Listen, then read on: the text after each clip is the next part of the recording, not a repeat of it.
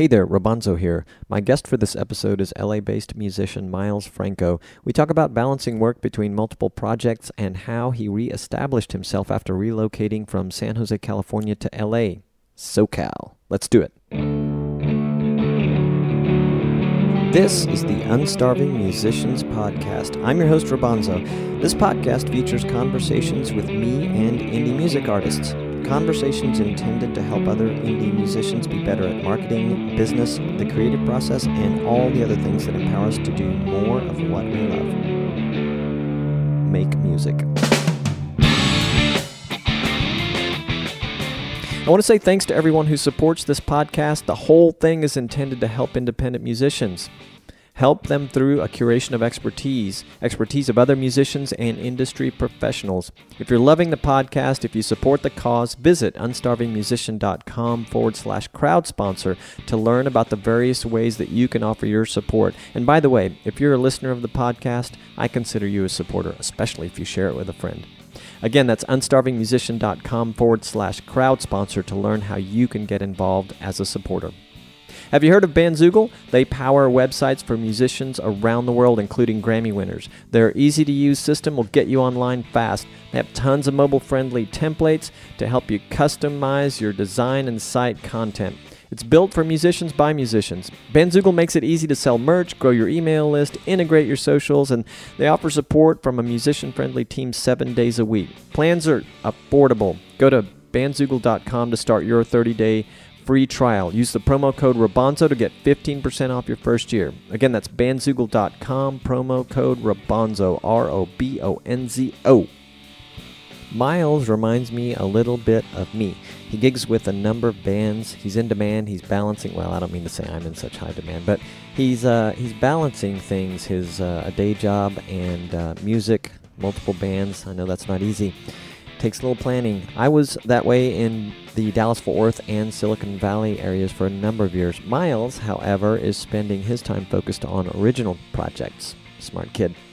Shout out to my pal George Brandau for connecting us. He's the connector. Hell of a drummer, too. George was featured in episode 22 of this podcast. You should check it out. If you're ever in San Jose, California, try to catch George's band, Chrome Deluxe. Those guys are tight. Miles and Paper Jackets, one of his bands, recently got to do an opening gig for X Ambassadors. That's pretty cool. Miles is pretty cool. I hope one of his bands makes it big. I think it's going to happen. Here's me and Miles Franco. So it looks like you're doing you're you're doing some legitimate stuff now. looks like, and I only until a few minutes ago, I actually thought, and this may be the case. I thought that Gutter Daisies was your main thing. I was aware, or I knew that you had some association with Paper Jackets, but I didn't realize that was one of your your gigs or one of your bands. And then you told me about another one that I I want to talk a little bit about too. All Good Things. Where did your I guess music journey start in terms of playing or recording? Where, where did it start at? Well, it started when I was pretty young. I think it must have been around like I don't know, like eleven and twelve, around there. And uh, it was one of those things where it's like you know I was lucky enough to live on a block that had other kids that were around my age. And they're all, you know, was like five other boys. And we went through phases together. And we went through, you know, the laser tag phase, the skateboard phase, and eventually we we all like landed on music. And you know, one one Christmas, you know, everybody's asking for you know guitars and stuff for Christmas. And at that point, I I had already known that my dad was a bass player, is a bass player, and he had his uh, his vintage Music Man like under the bed, and I'd seen it a couple times, and he'd let me kind of plink around on it. But like now, it was cool, right? Now I was like all my friends are getting into music, so I was like, well, I guess I guess I'll just be the bass player, and I got an amp for Christmas instead. And it was one of those things where it's like I I was really into it because all my friends were into it, and all of my friends on that block were older than me. So, you know, my entire young life, you know, child life go, growing up, I was always the, the runt of the group. I was the youngest one, therefore I was the worst at everything. You know, I was I was like uh, you know the smallest, the not as fastest and so when it came to music, I just kind of just assumed I would pull up the rear. But uh, I would actually, you know, start progressing and learning songs and kind of like getting it down quicker than some of my friends. And it was like, oh, well, maybe maybe this is something I'm good at. And uh, over the years, I kind of just stuck with it. And you know, some of my friends still play here and there, but you know, everybody that was on that block with me, they kind of moved on to other things in their life. And uh, that was just a moment where I was like, hey, like this is fun. Like I'm actually kind of good at this. You know, and then I got into like you know, middle school and high school. Then there's a whole social aspect to it too. Mm, yep. That part has not changed in all the years that I've been around music. Isn't that funny, right? And so, you know, like I wasn't into sports or anything like that. So obviously, you know, it's like I'm going to do the band thing. This seems like a good way to kind of meet people and uh, and be social and you know not have to subscribe to anything that I wasn't wasn't really into. So that it was music was there for me in a social aspect in like in early uh, middle school, high school. But you know, once again, I found myself progressing and just kind of like trying to play with better players, trying to like you know, as I infiltrated my local scene of uh, you know bands and musicians, it was like, well, I want to play with like some of the best guys that I can, or you know, like I want to try to like get a good group together. And every kid has dreams of becoming a rock star, but you know, I was like, well, you know, let me I don't. I never really had delusions of grandeur. I always figured I'd have a day job, but I was like, well, I really just like I love this music thing, and that's kind of just where it got started. It was just like you know in the Bay Area, just like it, just being a kid and trying to get into music, and then figuring out that I kind of just like I had a, a natural knack for you know certain aspects of just like music. Um, I still can't read, still can't read music, but you know it's, that's just one of those things where like sometimes uh, certain aspects of a certain hobby will just kind of click with people. And I don't know, you can, sometimes I, I think people just need to follow that stuff sometimes, you know? Does that mean that you did not do band in, in high school and did not study music or major in music in college? Not not a lot of formal training or just No, I never had any formal training. I think I had like one guitar lesson and then I think I bailed on the second one and I never went back.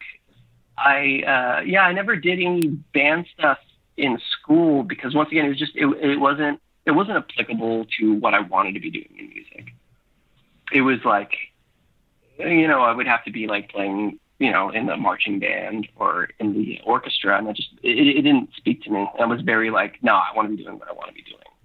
Any time spent doing something else, it just like it wasn't. It wasn't like I didn't. I didn't have the heart for it. I was just like, this isn't what drives me. You know what I mean? Yeah, sure. I um, I started out much the same way that you did long ago.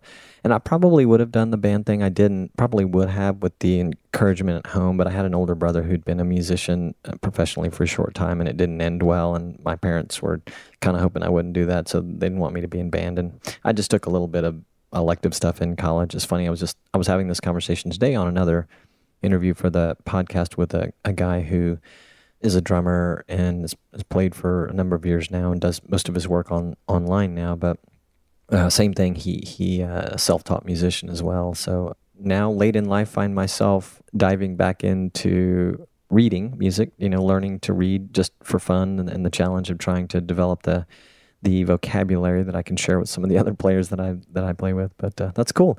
And then, when did you start doing paid gigs or recording on a professional level? Um, I, I want to say that was about like I must have been about twenty four when it really started because the the whole way leading up to that, it was always just like the thing on the side. It was like I was always in a band, mm-hmm. and uh, I never really saw it as like a as a, as a you know legitimate means of making a living. It was just kind of the thing I did in the Bay Area. But then, yeah, at, the, at about that age is when I started uh, touring in those local bands and making friends with people in Los Angeles. And that's when I met um, a good friend of mine, Dan Murphy, who is actually the, the lead singer of All Good Things and he was in a band called The Good Night. And you know, they I thought they were awesome. We played a couple shows on this tour with them. They were really nice guys. And sure enough, you know, uh, one day he hits me up and he's like, "Hey, our bass player can't do you know a thing for one reason or the other. Uh, would you would you like to you know play South by Southwest with us?" And you know, at the time, I was like, "Of course!" Like I was like early twenties, looking for fun things like that. And he was you know willing to throw me some cash, and I was like, "Yeah, sure. I don't have to pay for gas or food or anything like that. Let's let's do it." And it was through him that I kind of just got my foot into the Los Angeles music scene and just kind of like, okay, cool. These are people that are really good. I can like come and hang out with them. And a few years after that, I ended up just kind of joining his band and moving out to LA. And then, yeah, that's kind of how I started getting into just kind of like the LA music scene and like figuring out which bands were like paying for musicians that they needed and kind of just networking. And, uh, you know, and it was through a jam scene. I think it was like a local jam scene here where it's like a, there's a thing called like a sun, the Sunset Jam. Mm-hmm. Uh, it's at the Viper Room on Sunset, and uh, it's it's I mean it's less of a jam in the traditional sense where you think you know people show up and just kind of like jam on whatever they can come up with, you know, licks or stuff like that. You know, it's more of like a it's a little organized. It's a little bit more organized where it's like you know it, it, you go up and you play a specific song, and you, you sometimes you don't know who you're going up with. But, you know, everybody just learns their parts, and you show up and you go on stage and you do the thing and you see how it turns out. But and you know sometimes that's a train wreck, but sometimes it's really good, and there's a lot of really good players, um, and it was just a great talent pool for me to kind of dive into. And then through that, I met Paper Jacket, and I met other bands that that I'm you know working with or like you know playing with now. And it was kind of through that that I started being like, okay, cool, this is great. Like I found uh, Paper Jackets who needed a bass player. They were willing to, you know, pay me a certain rate for like away gigs and stuff like that. And then um, when the good night eventually, you know, bands come and go. The good night eventually folded, but I was stayed friends with Dan Murphy because he's such a, a good dude, and uh, he he was doing some licensing work. Like he was working with these uh, the studio on just kind of writing songs for TV and movies, mm-hmm. and there's good money in that. And so, you know, he was kind of like, hey, like I've got this project I'm working on, it's starting to like catch some wind. Like I, I'm, you know, I would love to have you kind of like come in on this because we're looking for another guitar player and there's some money involved. I was like, yeah, of course, of course, man. So that's kind of how I got into all good things. Cool. So a lot of projects going on. I know you have a day job, and we were talking about before the record button got hit with the Guitar Center headquarters in the Los Angeles area. Sounds like a good gig too. Have you had moments where you're teetering with doing it full time, or are you currently at a place where no, this is cool. I can kind of play do the gigs I want and kind of how I want them and with the day job and it sort of feeds feeds the music aspirations and it's related and all that? Yeah, I mean, right now, I mean, because like I've gone through so many different phases of uh, you know my music career. There's ups and downs, and there's been more than a couple times where you know you you put the dream to rest, you put the dream to bed for a little bit, and you go, okay, well let's let's look at a like a legitimate career, right? You know, let's look at a a a, a, a job and I've always had Guitar Center, and they've been good to me. But uh, I mean, you know, and like right now, these days, I'm taking a lot of time off to do these gigs, and it's kind of becoming like a part-time thing. So I toss it back and forth. Right now, it's like I've got I've got a lot going on, so it's it's kind of become like a back burner thing. Like this is just steady money. You know, I come here and I do good work. They let me take these days off to do these gigs, and if the bands that I'm working with stay on the trajectories that they're on, you know, I've got like a good five year plan. So it's something that's kind of constantly in flux. You kind of have to like really hedge your bets. And, you know, life is a gamble either way, but I just know that if I ever needed to, I could always fall back on Guitar Center and be like, hey, look, guys, I just, I'm going to do a full career out of this. But right now, it's like I am, you know, when I don't have gigs, I do work full time. I work nine to five pretty much here at the office. And, you know, but when I'm busy, I'm not, you know, I've got some days off next week where you know I'm going to be here for like you know maybe two three days because uh, when I get back from this weekend gig with Paper Jackets, I've got another radio gig with them on a Wednesday. That's cool. And it sounds like a nice place to be, and it's kind of a, a recurring theme with some of the people that I talk to. Um, certainly, I have the crowd that I talk to for the podcast that are full time, and today's been a day of talking to well, just a couple of them, but I like talking to I call them educators, but basically people that dedicate their time. Some of them musicians, and some of them just industry people who dedicate their time to helping uh, musicians kind of do it a better way if they're trying to make a, a career of it. But um, certainly, a lot of the great players that, that I've talked to, you know, they have some other career that they do, and that's where they're at for different reasons too. Some of them have already done all the other stuff, and now this is a lot funner for them to to be able to play on their own terms. So before we started talking, as I mentioned to you, I gravitated toward one of your projects, Gutter Daisies, and I, and I thought that was the one. It's cool to hear about these others in paper jackets and and all good things. And I was going to ask you about Social Insecurity, the 2017 EP release by uh, Gutter Daisies. Has there been anything with either the other bands that have, have been released since then? Yeah, I mean, Paper Jackets has released. Uh, we actually had a, a single come out, a single called "Girl," that was uh, Billboard did a, uh, a little write up for us for the music video. It was a couple weeks ago, and that was cool, you know. And uh, we've been kind of steadily releasing stuff. We released a single before that um, when we were on the road called "Sticky Icky." That was like a funny little tongue-in-cheek song.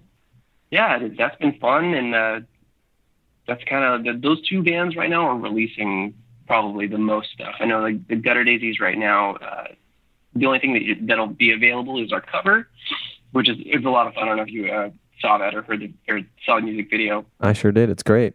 it's a lot of fun. For those that are listening, it's a a cover of the Beastie Boys Sabotage, and it's very fun. You guys did a great job with it. I'll put a link in the show notes. And you were going to say, sorry. Oh no, I was gonna say um, the Gutter Daisies. We've been recording a lot of stuff, but it's it's hard because like um, so the Gutter Daisies is my passion project. That's the one where like I feel it's got the smallest amount of people in it, and we all have uh, like the most creative control. So it's uh, but it, it's also the one that has the least amount of funding. So it's, it's that band. You know, it's it's the it's the one you pour your heart and soul and your extra income into.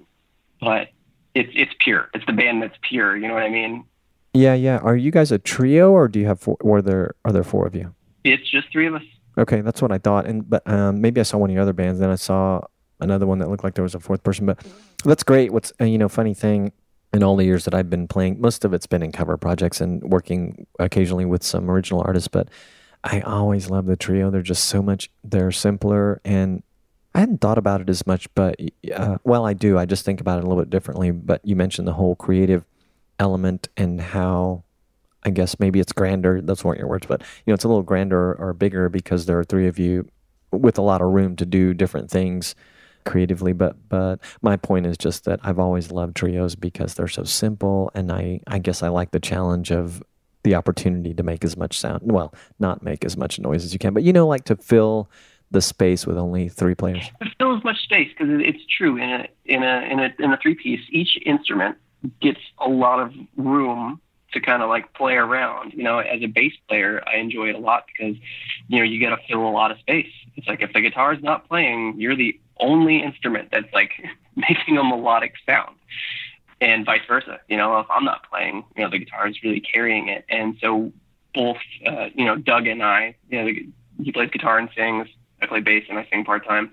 You know, it's like we, we really get a lot of space to play around, and uh, anything I do on bass really shines through. Or sometimes, you know, if you have two guitar players, they're doing so much that sometimes the bass can just like just just sit on those root notes, don't move from those root notes.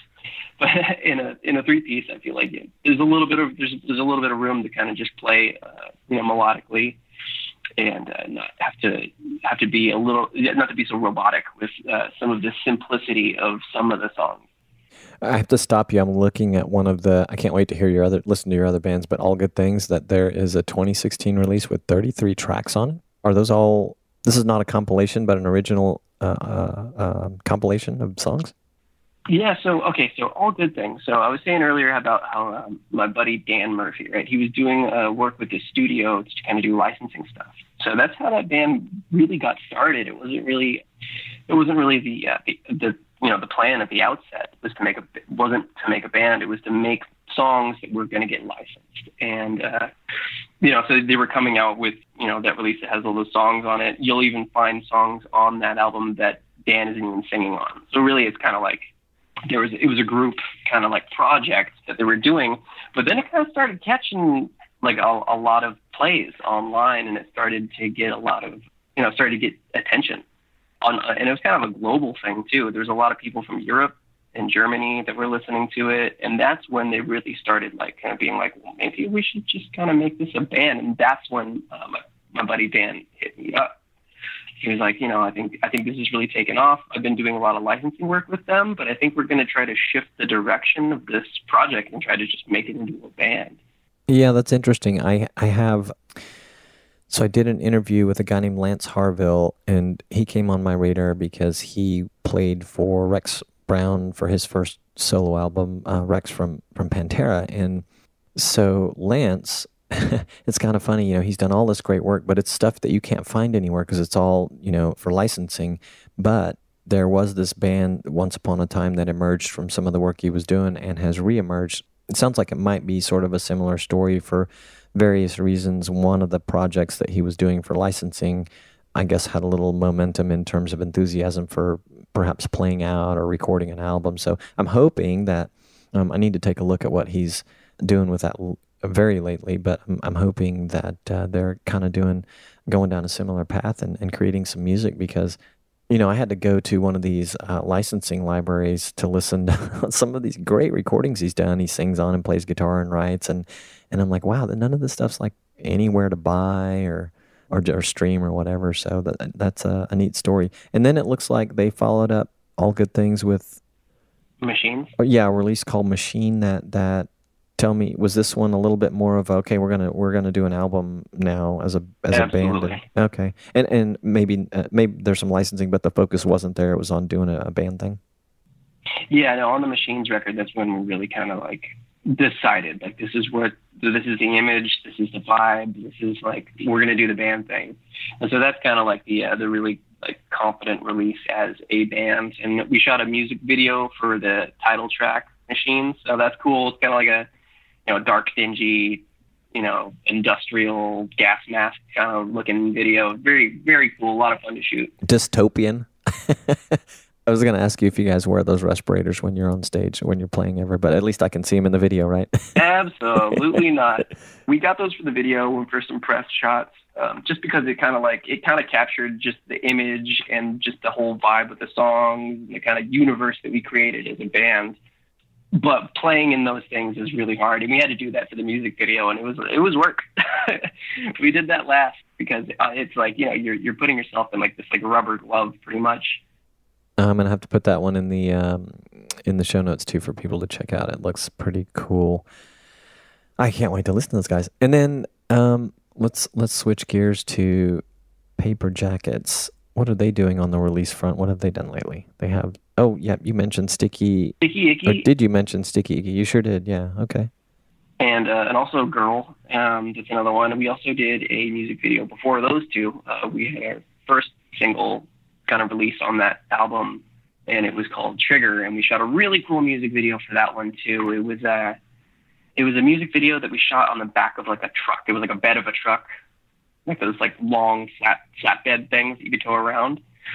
And uh, we drove it around downtown, like Los Angeles, and we were on the back of it with our guitars, and it looked so it, like people would be like, "Is this a green screen?" It looks like a green screen, and it wasn't. we actually uh, we actually had the funding to kind of like put together this really cool thing. We had like a police escort, like to make sure we didn't get any arrests.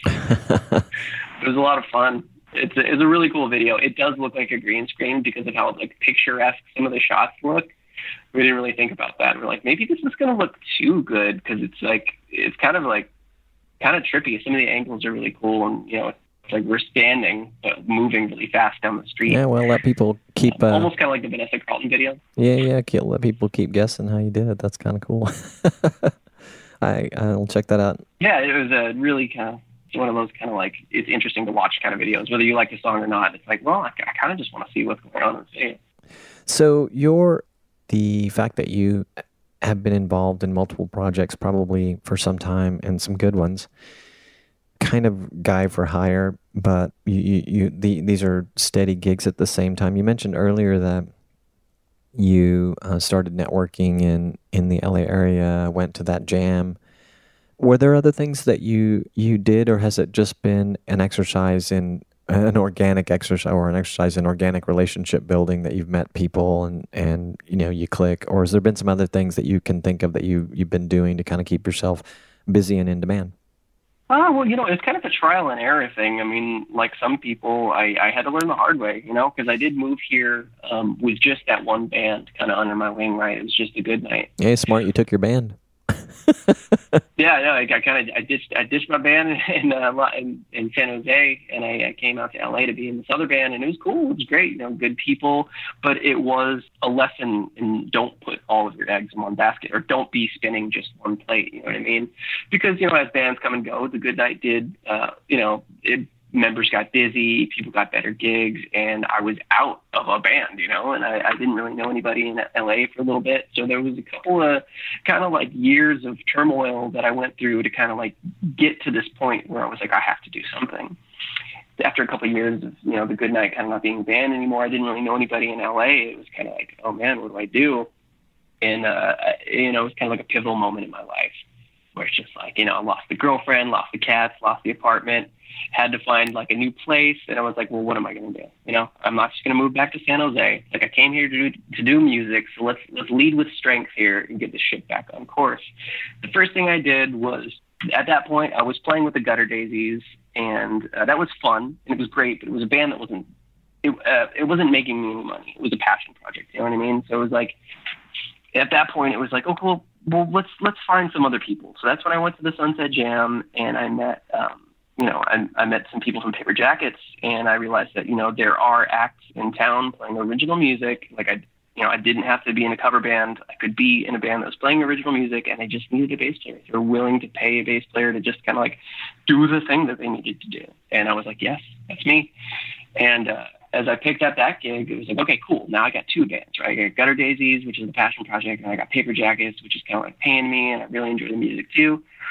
And then after about a couple months of doing that, my buddy Dan from the Good Night, that you know that wasn't a band anymore, he hit me up, and that's when you know he made the, the all good things proposition to me, and I was like, absolutely, you know, like let's just add another plate to the mix. It's like I'm never going to go back to one band ever again, and uh, you know he's such a good friend. I was like, absolutely, man, um, and that's how I ended up with three and it was like you know these two bands that were like you know that are kind of affording me this like extra income that I can live life that I've chose. yeah, and I I saw it looks like not too long ago uh, this year you had an opportunity for I thought it was just one of your bands, but for two of your bands to do what I believe was an opening gig for both with X Ambassadors, which is must have been kind of cool. Those guys are pretty widely known. Is um, did I get that part right? It was actually Paper Jackets and Gutter Daisies. Uh, no, actually, it was just Paper Jackets. Uh, Paper Jackets went out, and uh, yeah, no, it was in uh, it was in Arizona, and it was great. It was a really fun night. Those guys are really talented and they're really nice dudes, and it was a great crowd. Oh man, Paper Jackets, we love playing for big crowds, it's a, there's a lot of people in that band, so it's a whole lot of energy. It's a whole lot of sound, and I feel like that's one of those bands. It's like it's made for a big stage, and that that was a really fun night. We we did we did a we did a pretty good job. I'd like to think. awesome. How how did that gig come about? Does someone know someone, or what happened? Well, that was something where like Paper Jackets has been trying to like really nail the radio circuit, and uh, yeah, I think a couple months prior to that, we we played like a radio thing. Uh, it was like a radio conference where like you, go out to Las Vegas and you play this venue, and they've flown out a bunch of these radio personalities to kind of like, oh, these are a bunch of like new bands, local bands, up and coming bands that we've uh, nominated to be here. You know, they kind of just did they hang out have some drinks, watch some bands, and if they see anything they like, they could start spinning these new bands on their radio stations. So you could stay on top of the new the new wave. And uh, we played a couple of those. We played one of those in Los Angeles. We played one of those uh, in Las Vegas. And uh, you know, we come and we put our best foot forward, and I feel like we made some good impressions. And through that event, I think we made some friends in the Las Vegas, Nevada area. And uh, we have a really great manager. His name's David Burrier. Uh, great dude, and uh, he's been kind of like helping us put these things together and kind of like get these uh, get these great gigs that he knows that we can knock it out of the park at. And uh, yeah, that's that's kind of how we got that gig. It was just through trying to play out, trying to uh, play less dive bar shows and play more straight up. Like let's go to a radio station. Let's meet the meet the DJs, shake some hands, play some acoustic sets, and kind of like try to try to get into the market that way. I was going to say you mentioned your your manager David. Can you talk a little bit about the kind of things that um and is that is the manager for Paper Jackets, right? For Paper Jackets. Yeah. Can you talk about some of the kind of things that he does for you guys? Well, I mean, aside from keep us all on track, is like I think I've had like a handful of managers, and I do air quotes here, that are just you know they would love to tell you they just they just love to tell you what they think you want to hear, and they're not good managers. But uh, where where David kind of breaks that is he he's actually you know putting in work. He's he's making calls to these radio stations. He's kind of like really kind of like putting our feet to the fire on some of these things like hey you know you guys got to get this set up to like 45 minutes for this one gig or like uh you know just making sure that we're up to snuff and kind of like getting uh everything done and he'll fly out to gigs you know see us and everything and kind of make sure everything's going well I know that my singer James, the singer from Paper Jackets, he he's always like in contact with David. So I know that like James would probably have a lot more to say about David than I do, but I just know that he's like he's keeping us all on the right path. You know, he's making these phone calls to these people that are, you know, having us come out and play. So that's that's really big to kind of have somebody in your corner to kind of just be somebody who's who's going to organize things for you. That's that's not in the band. I need to speak on behalf. This was through a, a trial and error. We've had some bad management, and I think um, my singer James, he. Uh, you know, there's a lot of really good bands in this area. It's Los Angeles. There's a lot of up and coming bands. So, you know, through meeting people and word of mouth, David has kind of, uh, I'm pretty sure he's, he's helped out a few bands that, that I listen to. I don't know if I want to name any names because I don't, I don't want to get it wrong. Yeah, that's all right. That's all right. But, uh, I, I, but he's, you know, he's worked with some acts that I, that I respect. And so I think that was what tipped us off to, oh, maybe we should contact him and see if he would like to manage us. And, uh, you know, he came to rehearsal, came out to a gig, and you know agreed to you know start this you know this plan with us this like one year plan two year plan like getting getting this band off the ground in the right you know starting with like really like small gigs when we were just kind of like developing our sound and then eventually just kind of like getting us out to these radio conferences and then now getting us out to these flyaway dates where like you know, after playing all these radio shows, we get to play with X ambassadors. We get to, you know, this weekend we get to go out to Wisconsin for a festival and play with the red jumpsuit apparatus. And like that's that's really cool. That's it's it's a lot of fun. Wisconsin, that's awesome. that's cool. Yeah, Wisconsin. I have friends from there, and inevitably they they live up to the uh, to the accent, the stereotypical accent. Lovely people. Who's the band that you're going to play with there? That's going to be Paper Jackets in Wisconsin. Uh, no, the one you said you you guys were going to do a gig with. Oh, oh, it's a Red Jumpsuit Apparatus. I've not heard of them. Uh, they were a band that are, uh, they were really big into like uh, kind of like the emo scene, the early 2000s. I think that like their big song was a song called Face Down. And uh, yeah, they were kind of like a scene band back in the day. They're like that emo band that like kind of broke through for a minute. Um, I don't know what they've been doing since, but I'm sure they're going to bring a nice crowd to uh, this festival. And... Cool. Yeah, cool. I, Wisconsin. I will check them out. I'm, it's possible I've heard the song, so I wasn't familiar with the name. There's so many freaking artists now available to our ears, you know, on the in the on the via the internet these days. It's changed so yeah, much. I know it's a deluge of artists and sounds and things you have to remember, and people that don't put vowels in their names, and or not enough. Yeah, that's funny there's, there's a lot out there. yep, indeed. Well, that's cool. What is on the, let's see, we're coming into the fourth quarter. What's on the horizon for next year? Can you see what's going to happen for for you musically or something that you're hoping is going to happen? Well, um, I mean, it's really kind of a waiting game and, and a gamble because I've got a lot of stuff going on with Paper Jackets, and I've got this, I've got a label thing going on with All Good Things. So it's really a, manage, a matter of uh, who's going to book me first? so with Paper Jackets, it's uh, we've got like a one year plan to kind of get this thing off the ground and just start, you know, uh, playing consistent gigs. And I feel like we've been doing well. We've been playing the right gigs. We've been making the right impressions. And you know, in a year, we want to be touring regularly to you know kind of get our name out there, get off the ground, start making some money, making a real name for ourselves. Uh, that's the plan for that band, and we've got a uh, we've got another album on deck that we've recorded and uh, it's ready to go. We've got a couple of music videos that we're going to release too. Paper Jackets is going to release a music video in October for this song called Ghost of You. It's really cool. We shot it while we were on tour in New York, and it's a it's a really cool, trippy, kind of darker video for that band specifically. But you know, it's coming out in October. It's going to be very thematic of that whole month and the whole vibe of October so that's cool. I'm excited for that, and just continually releasing music with Paper Jackets throughout the you know the rest of this year and seeing where that takes us. Now, simultaneously, uh, I've been working with All Good Things, and uh, they're working on getting signed to Eleven Seven, and uh, that's that's a pretty cool rock label that uh, they seem to be doing a lot of really good things for some of these rock bands out there. Um, I think uh, Motley Crue is on the label. Uh, the band that I really like, Nothing More, nothing more is on this label. You know, when you're working with a label, there's different timelines. It's not like a band where you could just like make decisions and do things in a day. Uh, we're trying to strategize with the label and see what songs they want to put on this next album. You know, what kind of things we can do to make it kind of just like the perfect product for them, and uh, hopefully go on tour. That's the goal. But with them, we're kind of embroiled in this, you know, writing the best songs we can and trying to just kind of like crank out music so we can get the best of the best on this album, release it, and then uh, uh, hopefully have that label push us real hard and get us out on the road. I just don't know what's going to happen first, you know. And I've talked to both bands. Everybody, I play a really straightforward game with all the bands that I play in, and it's like, look, like, you know, I'm a musician that's working just like you, and I'm going to take the best gigs that I can when they come to me. So if I get booked out, I'm sorry.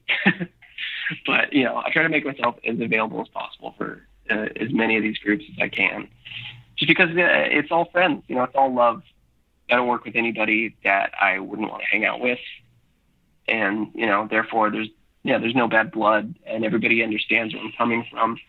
So it, it really is kind of a it's kind of a race, it's kind of a gamble, and uh, yeah, I make time for everyone, and the whole time I'm working on gutter daisy stuff you know, because that's the project where it's like, you know, when I get home from a long day of work, I kind of just take a nice, you know, deep breath and like those songs that come out are, you know, it's, it's the most natural thing for, for us three. So that's kind of like, you know, at the end of the day, we have the gutter daisies and that's kind of like this, like this underlying passion project that like, no matter what happens, I'll always have that band. And that's awesome. That's great the Gutter Daisies have uh, we've we've we have been working on a couple songs with uh, Matt Wallace, who's uh, who's done Sugarcult.